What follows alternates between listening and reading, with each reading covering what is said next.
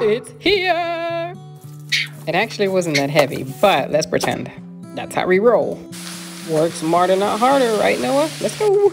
Bro, the box had already arrived with the bottom open. Noah, no! He was okay. Some of these screws are really hard to put in, but guess what? I jammed them in there anyway.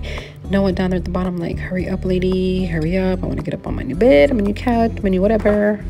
I added a yoga mat so the legs won't slip, and then I added a non-slip mat in the front so when Noah decides to jump off, he won't slip.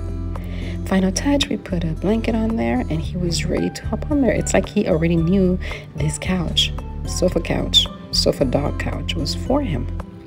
I think he liked it. Look at him.